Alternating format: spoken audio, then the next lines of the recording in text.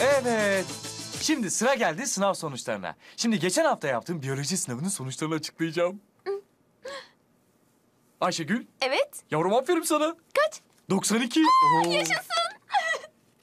Selim, evladım sana da kocaman bir aferin. Sen de 92. Aa, Hocam aynıymışız. bu bir tesadüf olamaz. Resmen birbirlerinden kopya çekmişler. İkisi de 92 almış. Dikkatinizi çekerim 92 92'ye eşittir. Tuğçe, evladım aferin sana. Sen bu sene matematiği bayağı ilerlettin ya. Özel ders mi alıyorsun? Evet hocam. Hem de Türkiye'nin en pahalı hocasından. 15 dakikası 100 avro. Eh eder saatte 500 avro. Ah be yavrum. Desene o para da boşa gidiyor. Ya hocam kopya çekmişler diyorum. Hayır hocam. Sadece beraber çalıştık. Ah evladım. Keşke sen de arkadaşlarına katılsaydın. Al 12. Ama hocam evde elektrikler kesilmişti. Ders çalışamadım. Ay hay Allah. Keşke Türkiye'nin en pahalı jeneratörlerinden birini kiralasaymışsın. 15 dakikası 100 avrodan. Eh saati de 400 avro eder.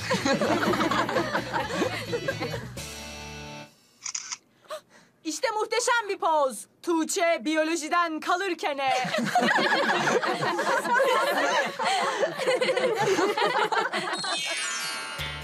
Küçümsediler. Benim zekamı resmen küçümsediler. Ama ödeteceğim bunu hepsine. Hı, Hangimiz daha zekiymiş anlayacaklar. Ama ben bu okulun en zeki kızıyım. İspatlayacağım bunu herkese. Ya bir dakika ya. Ya Tuğçe deminden beri düşünüyorum. Şimdi farkına vardım. Ayşegül haklı galiba.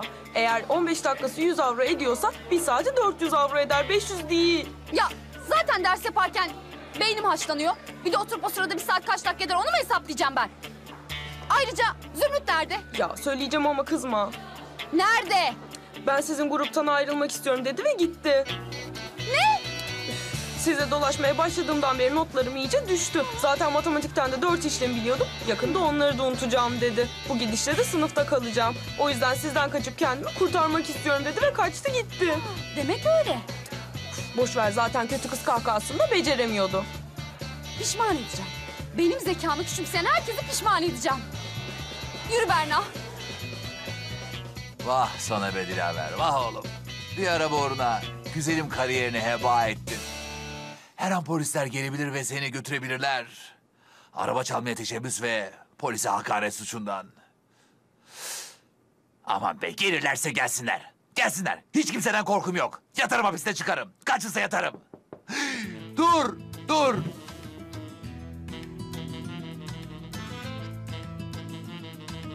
Gir. Ef, siz miydiniz? O, hocam biz biziz de siz siz misiniz? Ne var ne istiyorsunuz? Siz misiniz?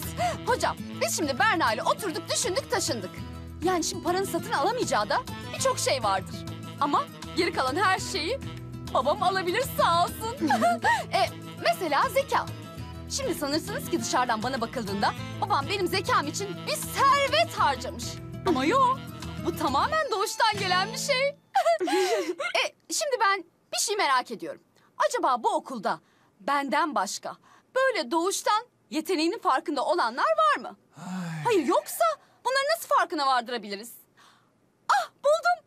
E, biz bir bilgi yarışması düzenleyelim. Kazananlar da bizi okullar arası bilgi yarışmasına temsil etsin. Yani ben. Tuğçe. Beş kere sekiz. 37. Yanlış. Ama hocam gördünüz mü ne kadar hızlı cevap verdim? Eh bu da pratik zeka. Ah. Ne uğraşıyorsun perukla, bıyıkla, dil hocan. Alıp götürsünler seni. Orada ben buradakinden çok daha az azap çekerim be.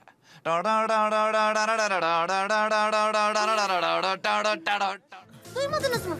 Neyi? Cuma günü bir bilgi yarışması düzenleniyormuş. Ve üçer kişilik gruplar halinde katılınıyormuş. Ve kazananlar okullar arası bilgi yarışmasında okulu temsil edecekmiş.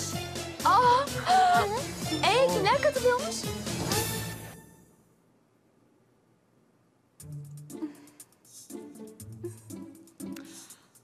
Evet sevgili arkadaşlar, hepinizin bildiği gibi bilgi yarışmasında aslında her ne kadar ihtiyacımız olmasa da Toygar ve ben aranızdan bize katılacak bir üçüncü yarışmacıyı seçmek zorundayız. E bunun için de bir sınav yapmaya karar verdik. Birer soru soracağız ve bir saatte vaktiniz var. Soru bir. Dört kere yedi.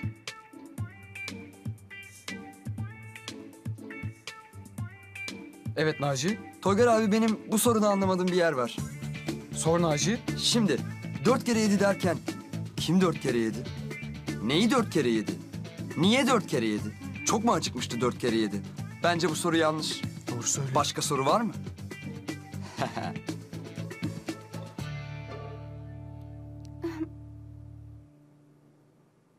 Naci sen sınavda vakit kaybetme. O kağıttan uçak yap. Şöyle pencereden dışarı doğru bir at. Bak bakalım ne kadar uzağa gidiyor. Sonra sen de arkasından koş. Bak bakalım yakalayabiliyor musun? Tamam Toygar abi.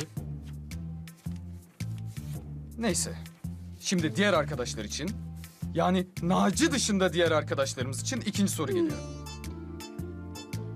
Beşi beş kuruştan beş yumurta kaç kuruş eder? Evet.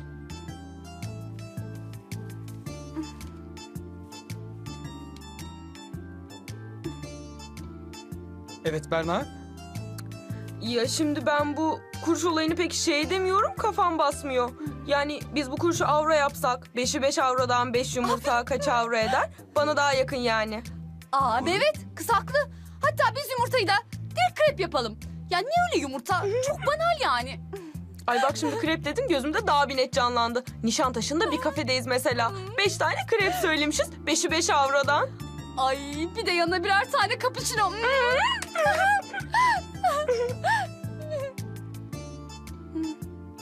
Evet Fethi. Krep ne Toygar abi? Evet krep mi? Ay krep ne bilmiyor bu. Ya tamam tamam. Ee, bir saatiniz başladı. Saat tam 11.35. Demek ki...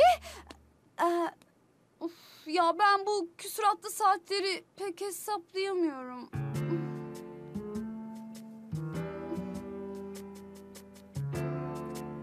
Ben kapı önündeyim. Orada biraz hava alacağım. Siz halledersiniz.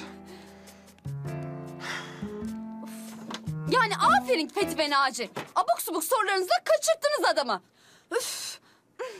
Ne yedik biz? Kanalımıza abone olarak tüm videolardan anında haberdar olabilirsiniz.